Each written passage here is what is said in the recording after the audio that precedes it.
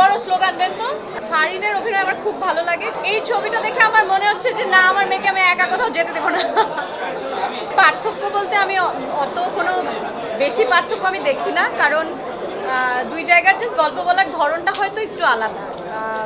সেই সেই কারণে হয়তো অভিনয়ের অভিনয়টাও একটু গল্পের ধরন অনুযায়ী করতে হয়। এছাড়া আর কোনো পার্থক্য নেই। আন্তরিক, আন- মানে আন্তরিকতার জায়গায় সবাই সবাই সমান, একই রকম। এই ছবিটা দেখে আমার মনে হচ্ছে যে, না, আমার মেয়েকে আমি একা কোথাও যেতে দেবো না। কিন্তু সেটা তো করা যায় না। সন্তান বড় হলে তখন আর বাড়িতে আটকে রাখা যায় না। আমি আমি আমি চিন্তা সাথে থেকে পরিচালনা অবজার্ভ করি না আমার সেই সময় নেই। আমি আমার চাকরি আছে আমার মেয়ে আছে আমার নিজের অভিনয় আছে। ওকে গুড ওকে পরিচালক বলছে আর কিছু বলা লাগবে না। থ্যাংক ইউ অসাধারণ। বলো বেশি করে বলো। ওইটাই বলছি। আচ্ছা না না না।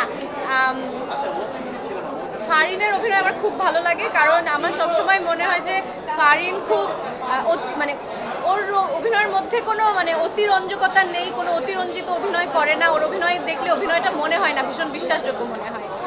আর আর বাকিরাও খুব ভালো করেছে ইরফান খুব ভালো অভিনয় করেছে, আর সেলিম ভাইটা আমি জাজ করার কেউ না, উনি এত সিনিয়র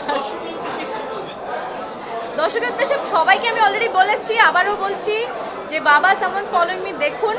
আপনারা নতুন কিছু দেখতে পাবেন এবং আমার মনে হয় খুবই কানেক্ট করতে পারবেন কন্টেন্টের সাথে। আমি ছবিটা দেখে আমার যে অনুভূতিটা হয়েছে সেটা হচ্ছে যে আমার যেহেতু একটা সন্তান আছে সন্তান বড় হলে যখন, এখন এটা খুব একটা মানে ট্রেন্ড সন্তান বড় হলে বিদেশে পড়তে চলে যায়। তো পড়তে গেলে যেই বাবা মায়ের ভেতরে যেই টেনশনটা কাজ করে, যে অসহায়তা সেটা আমি প্রতি মুহূর্তে ফিল করতে পেরেছি। সো শিহাব শাহিন তো ভীষণ ভালো পরিচালক। কিন্তু এই যে একটা খুবই একটা বক্সের বাইরের একটা গল্প একদমই আউট অফ দ্য বক্স একটা নতুন কিছু, নতুন কনসেপ্ট প্লাস এই যে কানেক্ট করতে পেরেছে দর্শকের সাথে, আমার মনে হয় যে সেটাই সার্থকতা আপনারা সবাই বিন সাবস্ক্রাইব করুন বিন যে বাবা সামাজ ফলোয়িং মি দেখুন।